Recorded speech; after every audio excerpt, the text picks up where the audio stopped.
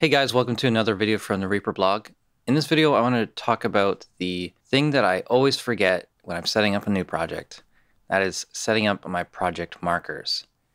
There are a few really good reasons for using project markers, and we'll get into those after I set up my markers. I've already started mixing this song. I've got about an hour and a half into it.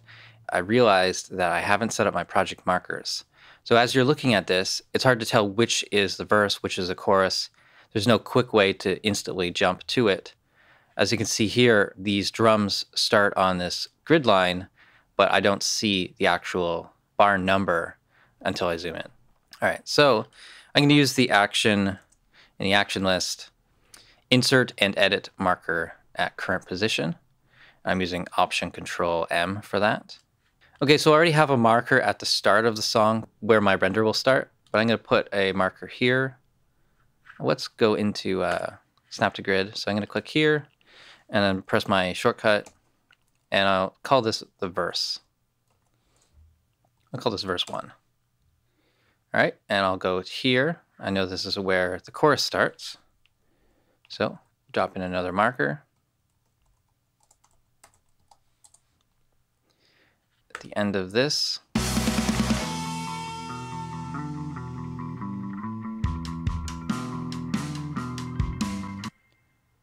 Verse 2.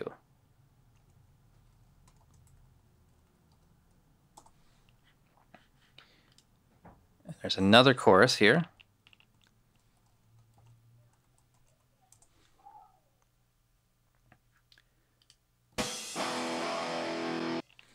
Here there is a bridge.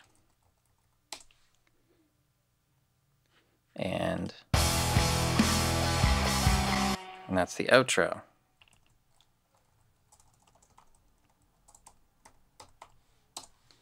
And then the end of the song where the reverb tails out. Now, this project instantly looks more organized. I know where the chorus is, I know the next verse is, and I can use keyboard shortcuts to jump between them.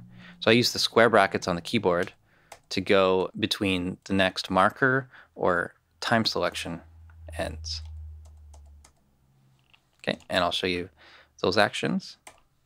That is go to previous marker or project start and go to next marker or project end. And if you have a control surface, you may have buttons to jump between markers as well. Yeah, just being able to jump quickly between the different parts at a moment's notice is great. You don't have to zoom in to find the exact spot. And it really only takes a moment to set up your entire project. Once we have our markers set up, we can double click to make a time selection. Then within that time selection, we can do some really easy automation. I have this track on trim read mode. I'm going to show the volume envelope and I can simply click this and go up or down within time selection.